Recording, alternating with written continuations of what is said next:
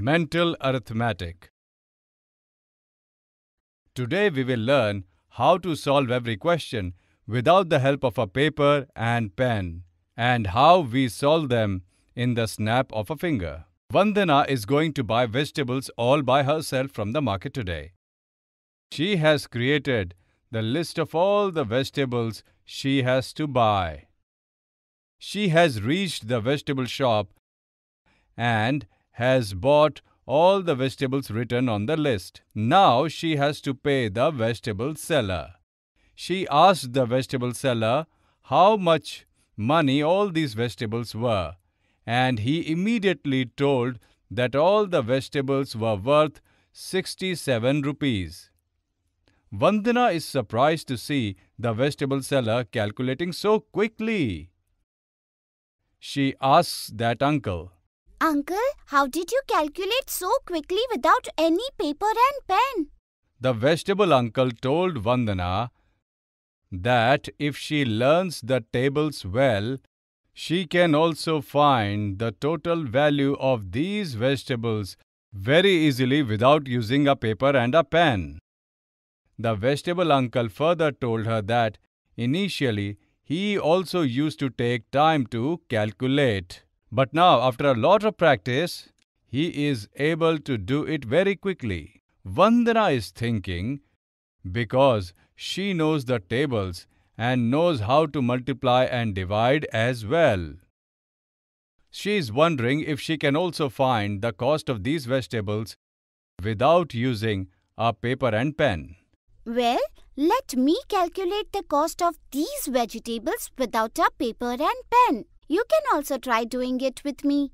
I have bought a kilo of ridge gourd. The price of a ridge gourd is 30 rupees a kilo. Hence, I have to pay 30 rupees for the ridge gourd.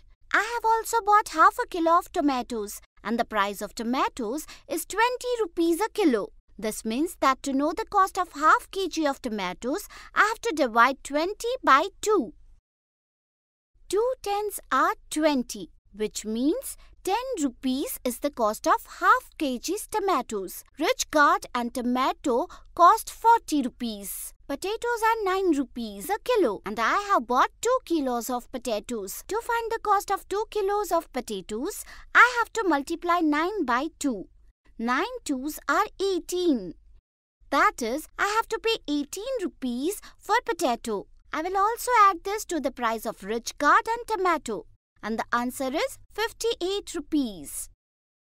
Brinjal costs 36 rupees a kilo. What do I have to do to find the price of 250 gram brinjal? Can you try and tell me please? See, 250 grams is a quarter of a kilo. So, to find the value of 250 grams of brinjal, we have to divide the price of a kilo of brinjal by 4. It means 36 divided by 4. 4 nines are 36. It means the price of 250 grams brinjal is 9 rupees. Now I will add 9 rupees to 58 rupees. The answer will be 67 rupees. This means all these vegetables are worth 67 rupees. Oh wow! I too calculated the total price of all vegetables without a paper and a pen. Now I understand how remembering multiplication tables and knowing multiplication and division make calculations easier. Vandana is happy. She has understood calculations can be done without a paper and pen. And now she just needs to practice. You can also try solving such math related questions without a paper and a pen.